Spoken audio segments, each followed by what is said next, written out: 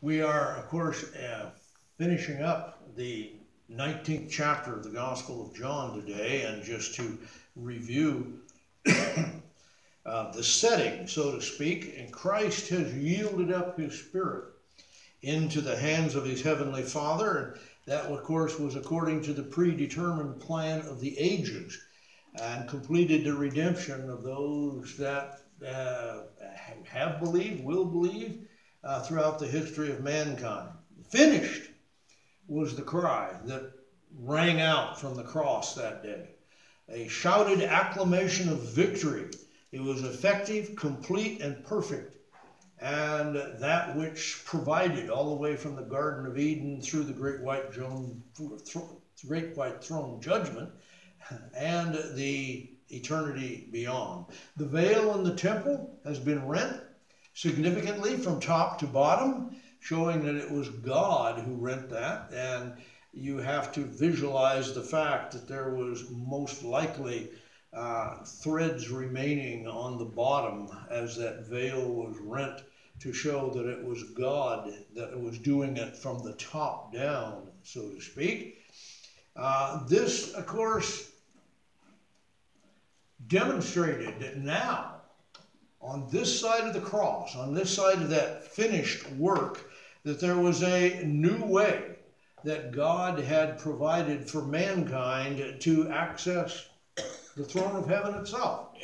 It, uh, as Hebrews notes in chapter 10, uh, beginning in verse 19, it says, Having therefore, brethren, boldness to enter into the holiest by the blood of Jesus. The holiest is a reference to the very uh, in the Old Testament would have been the holy place, the Holy of Holies, where the Shekinah glory of God came, and so forth, uh, into the holiest, talking about the very immediate proximity of God's glory by the blood of Jesus, by a new and living way, which he hath consecrated for us through the veil, that is to say, his flesh.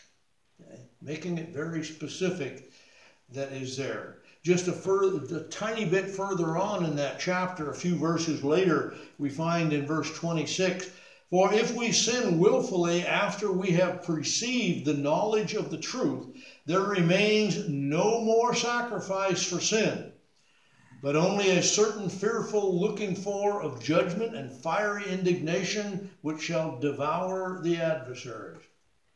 Uh, talking about the completed work, the finished work, the perfected work of mankind's redemption. There's nothing you can add to it, and we dare not take anything away from it. It is sufficient, it is finished. Okay? John's gospel account now, uh, picking up with verse 31, uh, furnishes kind of two separate, they're, they're joined, but they're uh, distinct as well, two capsules of information that kind of bridge the chronology between Christ hanging on the cross uh, and the resurrection that occurs in chapter 20. Uh, this first capsule uh, really uh, deals with the certainty of Christ's death, uh, something that you may not think of as worth the time to even think about, really, or discuss but yet it is, and we'll explore that momentarily. The second capsule addresses the funeral preparations for the body. So let's look at them. The first one, beginning in verse 31, uh, tells us this The Jews, therefore, because it was the preparation that the body should not remain on the cross on the Sabbath day, for that Sabbath day was a high day besought Pilate that their legs might be broken, that they might be taken away. Then came the soldiers and broke the legs of the first and the other, which was crucified with him, with Jesus. But when they came to Jesus, who was in the middle, he said, and saw that he was already dead, they broke not, they did not break his legs. One of the soldiers with a spear pierced his side, and forthwith came there blood and water. And he saw the, and bore record, and his record is true. This is actually John here. And he knows that he what he says is true that you might believe. For these things were done that the scripture would be fulfilled. A bone of him shall not be broken. And again, another scripture says, They shall look upon him whom they have pierced. Details are found in this little section of verses that deal with the chronology uh, of the day that's involved at this point. This uh, uh, the Passover week is drawing to a close. And there were specific prohibitions, according to Jewish law, uh, concerning bodies and crucifixions and burial preparations and all of that. That's what this passage deals with. But John records something special. This Passover week, distinctive from others, contained a high day. Not just the Passover day, but what was termed a high day which changes things a little bit, changes the normal observances. A high day essentially provided a double Sabbath. Okay? In other words, two Saturdays, except the one would be on Friday. Uh, and the reason for that was so that, well, you know, you know how governmental authorities are. If a little bit is good, more is better. Uh, you know, uh, well, they wanted to make sure that uh, all the observances of the religious aspects of the Passover week were completely uh, taken care of. And for we did, I don't know why, but this there was a high day, a double Sabbath inserted into this week. Indicates that Friday and Saturday would have been observed with that no work principle that was part of the Jewish law. You can do no work on the Sabbath, the Ten Commandments, right? Okay.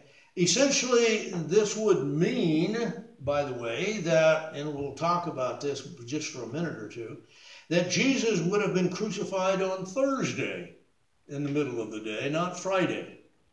Okay. Uh, I know that there are a lot of modern tradition for centuries, and especially Western Christendom, you know, goes with the Good Friday thing and everything else. But let's kind of examine it. Let, let's look at what Jesus had prophesied about himself. In Matthew chapter 12, he said this to his disciples As Jonah was three days and three nights in the whale's belly, so shall the Son of Man be three days and three nights in the heart of the earth. Jesus specifically referred to three days and three nights okay, uh, regarding Jonah, and then used that to indicate that he himself would follow the, the same protocol. If we see Christ crucified on Friday afternoon, then you only have two nights. You have Friday night and Saturday night because we know he rose the first day of the week. Okay, uh, but and then but what about what about Sunday? Okay. What about Sunday? Uh, you know, actually, according to the way the Jews figured things, Sunday didn't count. Sunday was not the, it, it, sorry, it didn't work. Why is this? Well, because the Jewish day considered was considered to be 6 a.m. to 6 p.m. The 12 hours they considered to be daylight hours. Uh, you remember when Mary showed up at the tomb before daylight? You find it in chapter 20, verse 1, by the way. And it's yet still dark. Christ has already risen, he's already gone. Okay? So actually, he was resurrected at the end of the third night. Uh, you know, if you're looking at it from the Jewish perspective, the days then would have been Thursday, Friday, and Saturday and the nights would have been counted the same way, and that would have filled in. Now, now, but before you scream blasphemy, you know, and head out on the hill to, you know, you know, burn a stray dog or something as a sacrifice, uh, don't die on this hill. It's not, it's not worth it. You know, some people see it traditionally as Friday, Saturday, and Sunday. You know, but it, what I, and I realize you've got all kinds of a tradition in Western Christendom concerning Good Friday. I'm just pointing out if you're going to reconcile what Scripture actually says with the chronology, that's what you're going to have to work with. Okay? So, moving along, we come to the leg breaking that is spoken of in verse 32. This was done to ensure that Jewish criminals that were hanging on the crosses uh, would have died before sundown. You're back to that 6 p.m. thing, allowing them to be taken down according to Jewish law. Now, here's the thing the Romans didn't give a hoot about the whole procedure. Okay? This was done as an appeasement to the Jewish nation so that their religious observances uh, would be carried out according to their traditions. The Romans didn't care. They didn't care about religious traditions of another culture. It didn't make any difference to them. What they were interested in was subjugating the Jewish nation. Okay? They did not want civil unrest. They did not want riots, mostly peaceful or not. They did not want riots. Okay? They did not want their troops murdered on the street corners after dark. You know, they did not want, you know, insurrection going on throughout the land and, and so forth. And to them, it was perfectly okay. You guys, so long as it keeps you happy and it doesn't intrude upon our control, our being the Roman Empire, we don't care what you do religiously. Knock yourself out. Made no difference to them whatsoever. So, as an appeasement, you know, they said they would go and figure out which ones were Jews. They already knew that type of thing. And maybe they just broke the legs of all of them. I have no idea. Uh, but they would then break the legs in order to speed up death. Now, if these people were put on, if they were still alive, on the afternoon, late afternoon before the Jewish Sabbath, they would go by and break the legs of everybody. Now, this served a couple of different purposes uh, as well, but we'll get to that in a moment.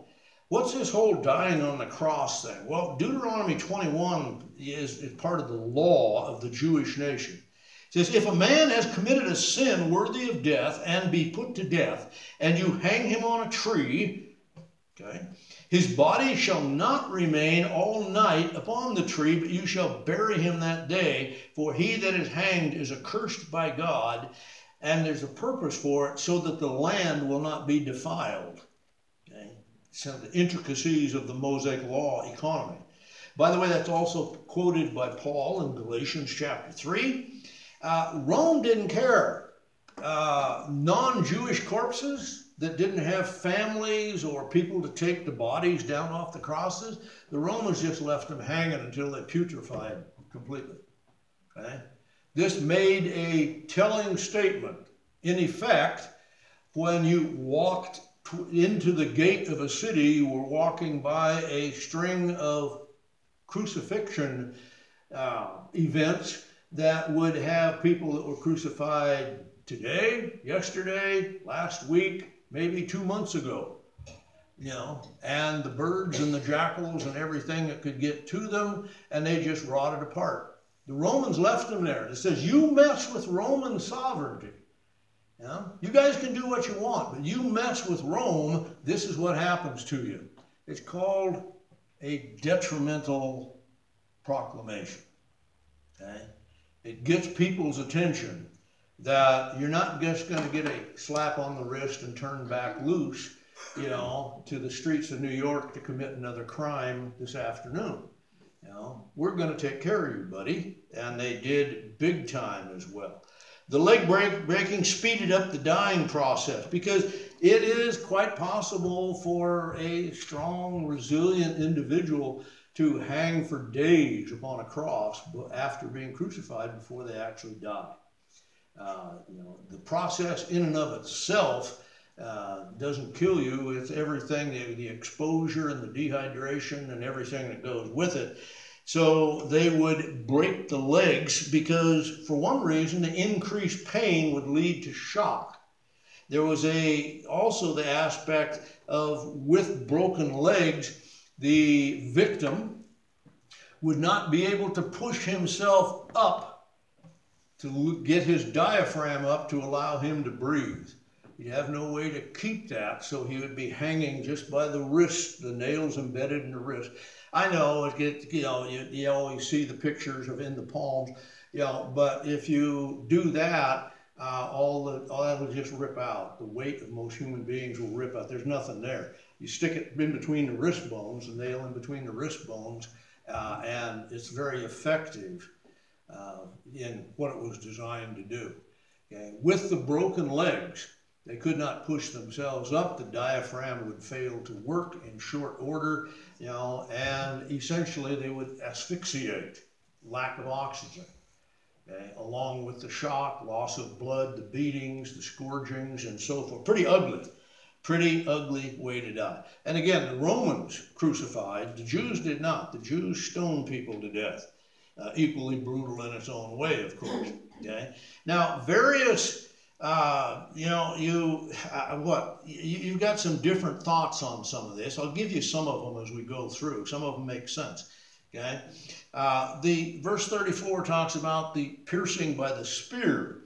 Uh, by the way, this is another proof. We're going to talk about that in a moment uh, of the death of Jesus, that he was actually dead. Okay, a Roman soldier came by and saw that you know, for all, well, he looks dead to me. I don't see him breathing. He's just hanging there. You know, well, rather than go through the effort of, of breaking the legs, uh, which they usually did with a big hammer thing and broke the up on the thigh bones. They didn't break the lower bones; they broke the thigh bones. Uh, in any case, uh, so he ran a spear up into him. I say up into him because the spear was normally inserted underneath the rib cage. Okay? The problem with running metal through the rib cage is, you know, whether it's swords, spears, pikes, whatever, is it'll hang up the weapon. Okay, it on, a, on very practical. Roman soldiers were very practical. They made their living being doing what they did, you know. And so to check, they'd run the, the spear up under the the bottom rib, up into the pericardium. That's the heart sac. Okay, uh, normally, so you'd run the spear through at least one lung and in all probability through the heart itself uh, as well. Now, blood and water comes out. Uh, a stream which flowed when the, when the spear came back out. Uh, some view this as more of a sacramental concept, but most likely it emphasizes the physical body and the death of the physical body having a spear run through your heart is usually pretty much fatal. Okay? Yeah. Uh, you kind of get the idea of what is being dealt with. In verse 35, John, and that's probably the best understanding of how that's phrased, and he saw, remember, John never speaks of himself as John. Okay? He, he, he doesn't do that. He never actually identifies himself with the proper name. But he that saw this, and we know John was there from the earlier text, he says, bears record, and his record is true. He knows what he says is true, and there's a purpose for this so that people will believe that Christ died that's what he's talking about in this context here. Yes, he's going to be resurrected, and that's part of it. But here, the context is that physical death actually occurred. Okay? There is no swooning. Okay? There is no fainting. There is no, you know, passing out momentarily or whatever. You know, uh, Jesus has had a spear run through his chest cavity, piercing his heart. Uh, he's dead. He died previously, by the way, uh, you know, before the spear ever went in. By the way, both Exodus, you've got two quotes here in verses 36 and 7. There are one, the first quote is from Exodus, the second is from Zechariah, and both of them attest to the fact that the fulfillment of Scripture is both literal and absolutely accurate. Okay? Uh, these things were prophesied centuries before Christ was ever born in, in humanity, and now they are perfectly being fulfilled, which is why we can expect unfulfilled current prophecy to come true in the same way because that's the way it's always been in the past. You don't change the procedure in the middle. Now, just a note here. Going clear back 1500 years before Christ, you had the initiation of the Passover lamb. Okay? The Passover lamb never had a bone broken in his body. Okay? He was taken with his throat cut and eaten whole and, and so forth. There were never there were never any bones that were broken. It tells us in Corinthians that Christ, our Passover, is sacrificed for us. Okay? Again, the accuracy, you know, of what Scripture is laid down for us. The, there is an issue that I'm choosing to emphasize a bit here because it affects even us today in some areas, and that's the confirmation in this text of the actual physical death of Christ. Yeah, and most of us here are going to go, well, yeah, duh, that's obvious, right? I mean, everybody knows that. Everybody understands that. Mm, not really so. Okay, hang on a minute and I'll help explain it to you. Okay, uh, we can, in some cases, also get somewhat distracted by the spear thrusting and the leg breaking and, and you know and so forth. Uh, while that is recorded and we need to, to understand it, there's something that sometimes we fail to see the forest for the trees if you're not careful. Most of us in modern times, unless you've been off to a, uh, a seminary someplace or something, are not really familiar with Gnosticism and Docetism. Okay, and you go, who, what, huh? Yeah, right. It's uh, yeah. Well, they were heresies in the first century that arose almost immediately following the resurrection. Okay? Between them, they comprised the fact that they claimed that Jesus, one, didn't actually die, two, never actually had a human physical body, or that three, even though he had a human physical body, his actual spiritual being departed, you know, before his physical death occurred. Okay? Uh, which means his physical body would have died, but Jesus didn't. The book of Colossians, by the way, though most of us may not recognize it initially, uh, the book of Colossians was written uh, as a counter of those heresies, those false teachings. Uh, you know, that's what the book is about. And often we read it more on a devotional basis, but in its theological and doctrinal perspective, it is a counter to false teaching concerning the body and person of Christ. Okay? It would seem that with the emphasis of John's record, especially John's gospel, focused upon the deity of Christ the inclusion of this almost almost an addendum in some ways points to the certainty that Jesus, God's Son, certainly while both God and man died on the cross. Paul, by the way, additionally addressed this for the church age. Turn with me, if you would, to 1 Corinthians chapter 15. We will recognize that, of course, as what we call the Easter chapter or the resurrection chapter. But it begins with a very clear, one of the clearest statements of the gospel message and process found in Scripture. And Paul is refuting also this whole impact of Gnosticism and Docetism and, and so forth in the first few verses. 1 Corinthians 15, verse 1 Moreover, brethren, I declare unto you the gospel which I preached to you, which you also have received, and wherein you stand, by which you being saved, if you are keeping in memory what I preached to you, unless your faith is a futile one. In other words, you can put faith in false things.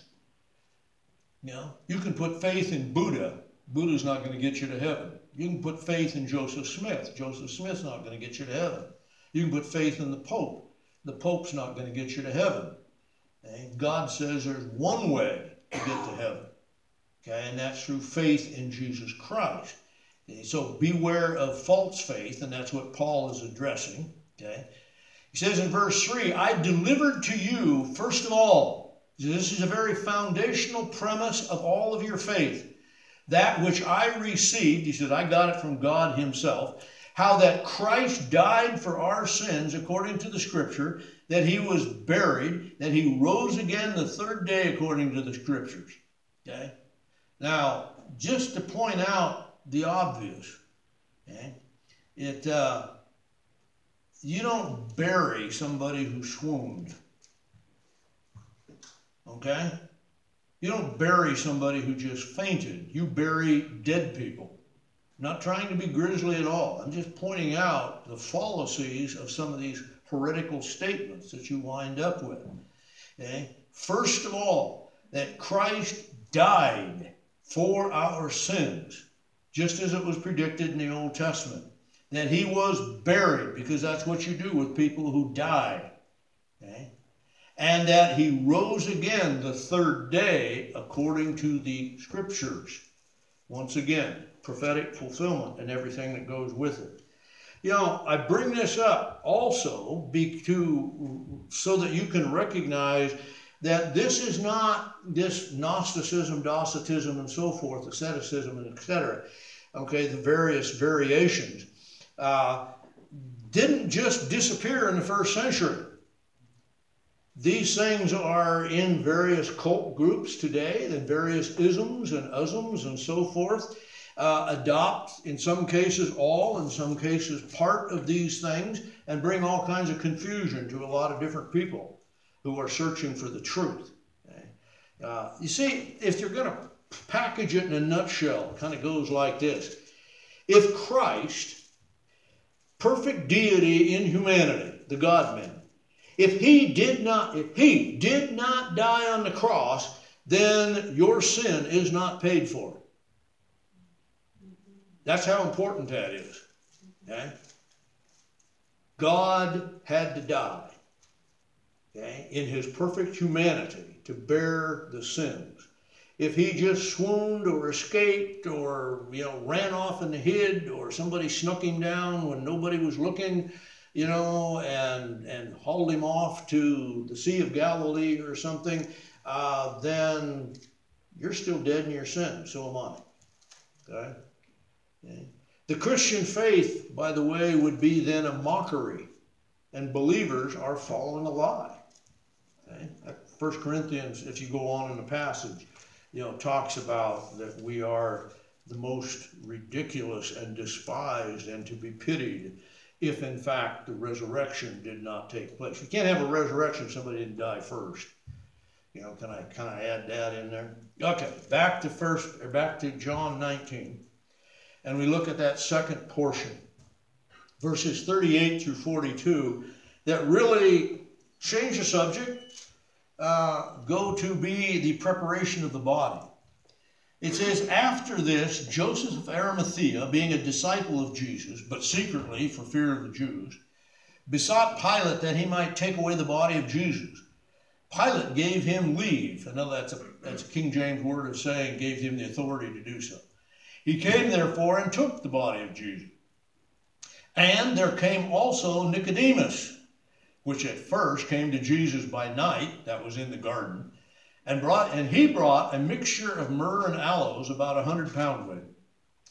They took the body of Jesus, wound it in linen clothes with the spices, and the manner of the Jews is to bury it. Now, in the place where he was crucified, there was a garden, and in the garden a new sepulchre wherein no man had yet been laid. Then laid the then they laid Jesus because of the Jews' preparation day, for the sepulchre was nigh at hand. That's where they put him.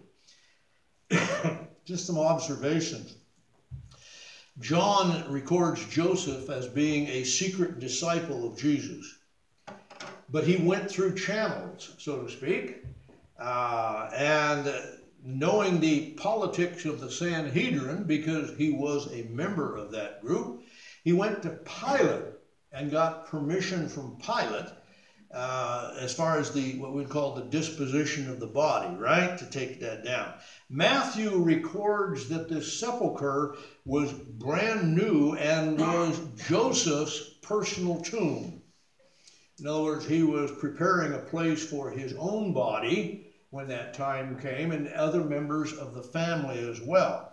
Uh, by the way, most sepulchres had multiple platforms.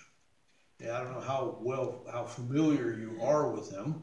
Uh, Emily and I were able to go into one that uh, we have no, nobody knows which sepulcher Jesus may or may not have been. They don't even know for sure where Golgotha was, uh, not you know in a technical sense. Uh, but you have multiple platforms inside. There's a main tunnel entrance, know, and then on both sides of that tunnel, as far back as it goes, you will have multiple platforms, sometimes one over another, and sometimes a series of them. You can have four, six, eight, uh, depending upon the, the size of the tunnel, how structural the rock environment is, and so forth everything that goes with it. Okay, so that is kind of the picture. There, by the way, they are not roomy. I know we all see pictures, especially at Easter, of something that has a tunnel that's got a 12 foot ceiling in it. You know, uh, they didn't waste that kind of labor on bodies. Okay, uh, they made just as big a tunnel. You know, it uh, Emily had to stoop a little bit to get through the entrance and through the main passage you know, and then the individual little wall room, kind of a room, open room type of thing, you know, with shelving, you know, that you could tuck a body onto. Uh, you know, that's the, the, the, picture that you have here, okay? Uh, but we, we know that Pilate goes to get that, and it is Nicodemus then that provides the burial spices. Uh, by the way, a, a large and generous and expensive amount is indicated here. This is a rather large thing. Uh, the Jews did not embalm. That's you got to go back to Egyptian times for that. Uh, and the spices had nothing to do with embalming. Uh, on a very practical basis, they were primarily to mask the odor. Okay, uh, coming out of a body that had already started to corrupt by the time they got it off a cross. And it allowed them to handle the corpse without really undue hardship, uh, you know, as far as getting the corpse from point A to point B. Verses 40 through 42 suggest a rather hurried preparation time, don't they? You know, if the sun is going down, this, this high holy day is, is is just about to start at 6 p.m. as the sun goes, and they've got to get the body off the cross. They've got to yank the spikes out. They've got to take the whole thing down. They've got to figure out how to get the body into some type of a canvas or you know onto some type of a pole business so that they can carry the body from the place of crucifixion uh, to the tomb. Apparently, they're fairly close together. That's what is indicated here. They didn't have, at least that was probably a blessing that is there. Uh, so there was close proximity in this particular case between these. Now, if Christ hung on the cross from what you and I would concern uh, see in other the other gospels, uh, basically from noon to 3 p.m. That would leave the soldiers arriving to break the, the bones between 3 and 3.30 and the clarification and legal notice that they're all dead. Now the family members can come take down the bodies. And again, if there were no family members or anything else, the bodies just remained there. Okay, and they were just considered cursed. Well, Nicodemus and, and Joseph show up. We know that there are other family members, Mary and Mary's sister, and Mary Magdalene, and John is there, and so forth but they're not specifically referred to in this part of the text. So it's the it, the duty goes to Nicodemus and you know and uh, Joseph of Arimathea, both members of the Sanhedrin. Okay, it's a kind of Joseph of Arimathea and Nicodemus from the garden, you know, type of thing. Okay, it. Uh, but Jesus, uh, between the crucifixion and everything involved, there would have really been a rather short period of time uh, in order to get the this winding and spicing all wrapped up. The Jews normally used strips of cloth and wound. Uh, you know, uh, you can refer back to like Lazarus when he came out of the tomb when Jesus called him forth with his grave clothes and everything that goes with it. Uh, so there would have been a, a fairly short period of time which would have meant in Jewish culture that probably following the whole Sabbath thing, that the women uh, that you read of in the next chapter that were heading for the tomb probably had the job of rewrapping, respicing, making sure uh, that the body was properly done because it had been such a hurried thing, you know, in the days previous when Joseph and Nicodemus were involved. Okay. By the way, uh, kind of not really a side note, but have you stopped and thought that the, the this action by Joseph and, and Nicodemus was a rather risky one on a personal basis? I mean, this is an open declaration of they're willing to be identified with this Jesus of Nazareth guy. Uh, this is this a as a political slash uh, religious statement. Uh, they're you know sticking their necks out.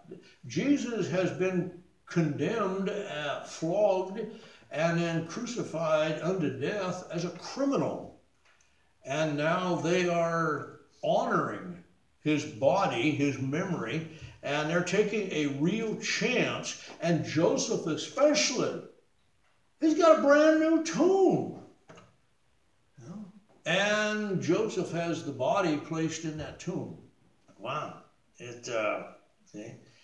Uh, and by the way, remember, please remember uh, that Matthew 27 records that Pilate had granted the Sanhedrin a guard detail to secure the tomb. So the Romans knew about it, the Sanhedrin knew about it, the Pharisees knew about it. Every this was common knowledge. Okay? Eh? And Joseph and Nicodemus are right in the middle of everybody knowing that they're personally involved, you know, identifying uh, with this prophet from Nazareth. Quite a deal, really is. Okay? It, uh, now you don't get a lot of other stuff you know, concerning the, you know, the, the stone being put in place and the seals and the Roman guards and all that. Yeah, look at the other gospel accounts to, to flesh that out a little bit. Okay? All right. So, some of you at least are probably old enough to remember the cliff-hanging perils of Pauline uh, serials that were on the Saturday movies, Saturday afternoon matinees. The, the, uh, audiences were left every week on the edge of their seats, you know, anticipating how Pauline was going to be getting out of this cliffhanger. You know, the cliffhanger, by the way, earned its name back in the days of yore because they literally left somebody hanging on the face of a cliff you know, in different episodes, so it was kind of fun. Okay? But you, uh, you know, how was is how is the heroine gonna escape the clutches of villainy? You know, and you're kind of anticipating everything else. You know, uh, the text that we leave today, if you were experiencing it then, would be a perils of Pauline, kind of. It's not for us. Because all of you rascals have read chapter 20, where we know that Christ rose from the dead, right? It, uh, you know, we understand that, and that, that is part of our, our Christian understanding, our Christian heritage, and teaching everything that goes with it. But the believers of that time, the apostles, the family members, and everything that were involved, uh, even Joseph and Nicodemus, there's a significant difference. Because what they had at this point was no hope. They had no hope. They had put their hope in Jesus. And Jesus, right in front of their eyes, had been crucified and was dead, and now was wrapped up and placed in a tomb. They had placed their faith in Christ as God's Messiah, the deliverer, the one that would lead them onto the path of righteousness. Yeah. And now they see him die. He's been nailed to a tree, yielding up his spirit, pierced by a Roman spear as proof of his death. Now he's taken down from the cross, wound in burial sheets, covered with spices, and laid in a tomb. That's where you put dead people. Their hopes at that point were equally dead. They had everything that they had hoped for had come to a crashing halt with the death of Christ. Life had fled, death had replaced it. Hope had vanished away. Okay? Arrested, tried, killed, and entombed. The Sanhedrin probably celebrated. Satan probably danced in glee. But heaven is watching. Eh? Yeah. Heaven is wide awake and watching.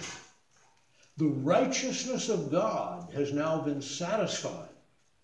Redemption's plan has been completely fulfilled. It is finished. And you, well, as Paul Harvey used to say, you got to come back next week for the rest of the story. okay, let's close. Father, thank you that you have provided a couple of, I guess, vignettes, uh, addendums, uh, portions of details that help us recognize uh, the reality of the crucifixion. And, Lord, the response of men of faith who were willing to put their lives out on the on the out on the chopping block, so to speak, as they identified with Jesus. I don't know how else to even think of it, but Nicodemus and Joseph of Arimathea had to have a love relationship. It would, had to be more than just the intellect or the academical or academic part. It had to be something more profound, richer. Had to be. So they had to have love for this man this Jesus of Nazareth who had died. Uh, Lord, they uh, put themselves out there because of that. I think we need to be as well steadfast, immovable, always abounding in the work of the Lord, knowing that our work in the Lord is not in vain. Uh, it serves your purposes, we pray, and we ask that we too would be willing to stand when needed. In Christ's name, amen.